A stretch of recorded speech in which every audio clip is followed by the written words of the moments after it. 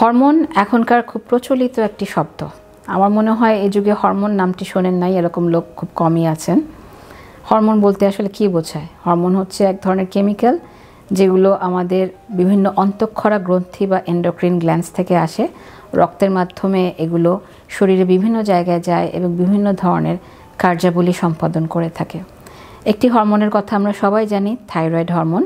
তবে বুঝতে হবে থাইরয়েড ছাড়াও শরীরে নানা ধরনের হরমোন আছে। এসব হরমোন নানা ধরনের কার্যাবলী সম্পাদন করে থাকে। হরমোনের রোগ হলে নানা রকম লক্ষণ হয়ে থাকতে পারে। তার মধ্যে কিছু কিছু উদাহরণ আমি আপনাদের দিচ্ছি।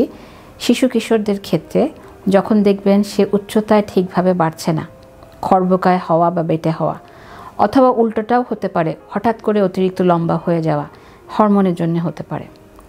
বয়সন্ধির পরিবর্তন যদি ঠিক সময় না আসে গোফদারি গজানো, গলার স্বর পরিবর্তন হওয়া, মেয়েদের ক্ষেত্রে ঋতুচক্র শুরু হওয়া, বুঝতে হবে হরমোনের কোনো সমস্যা থাকতে পারে।